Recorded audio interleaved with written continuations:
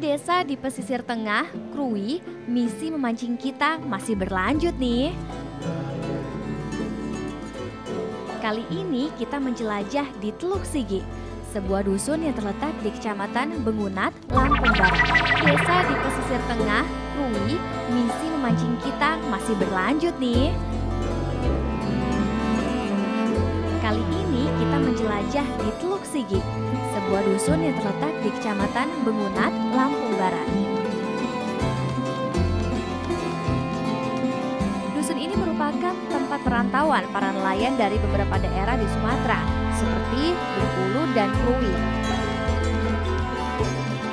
Kurang lebih 40 tahunan lalu, dusun pertama kali dibuka hanya oleh seorang nelayan. Kini sudah terdapat 45 kakak di sini. Hmm, mereka tertarik memantau ke sini?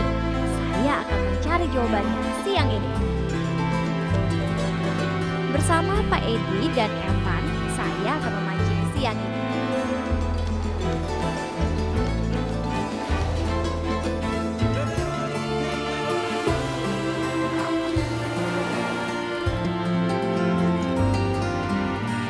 Pancing yang kami pakai hanya sebutas tali senar alias pancing senar.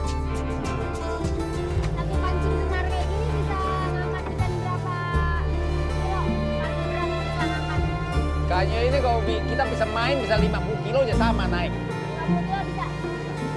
Tergantung kita main. Itu. Tergantung kita main. Ah, kadang-kadang ini kita kalau steam ada kayak pelampung buang, ya biarnya tarik sampai dia sampai dia naik. Tergantung kita. Kita akan memancing di perairan Gosong Tabun. Dari dusun, jarak tempuh menuju Gosong Tabun hanya setengah jam saja. Walau terhitung dekat, perjalanan ke sana lumayan membuat kenal. Saja gelombang besar yang menghadap.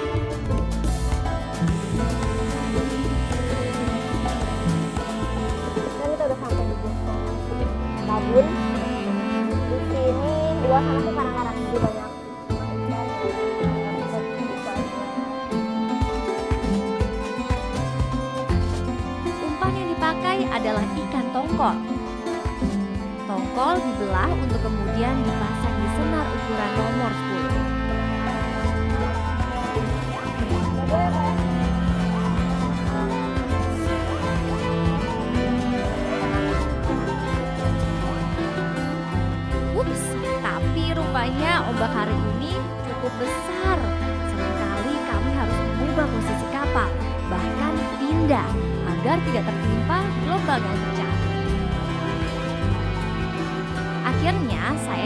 jawaban kenapa banyak pendatang ke sini. Ternyata cukup mudah mendapatkan ikan di perairan ini.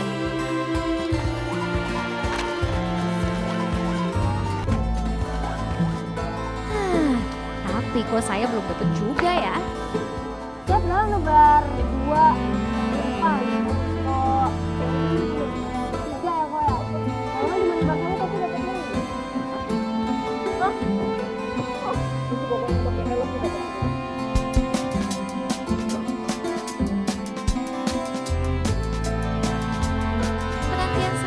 perlu memakan waktu lama kok. Tak lama terasa senar ditarik.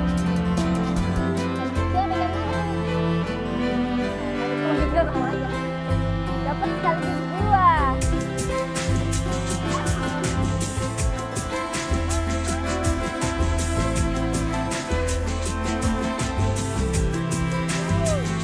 Dan tak lama Pak Edi pun dapat ikan.